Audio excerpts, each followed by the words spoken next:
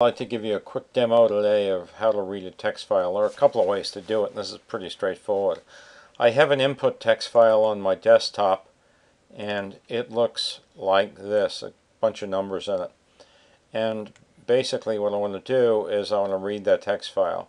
Now, I can include the text file in my project, which is fairly straightforward.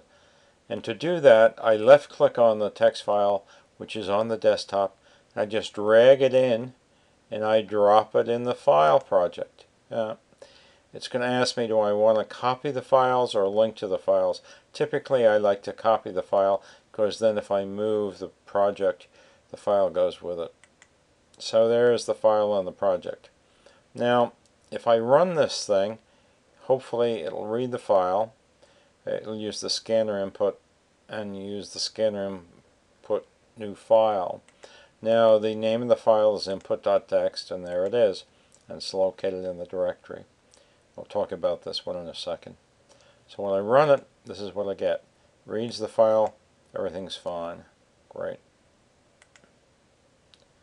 The second case is a little more interesting. So I'll just comment this one out and I'll open up the second one.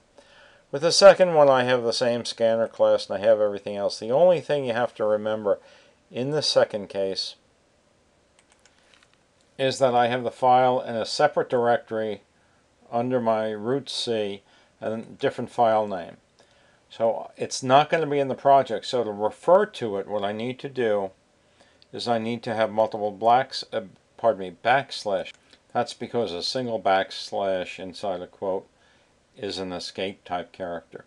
So this donate, uh, denotes uh, the, the uh, double backslash and that'll get us the correct route to the file. Thank you very much. Let me run this thing. And it says select. And there it's running. It was a different file. It's gotten those results.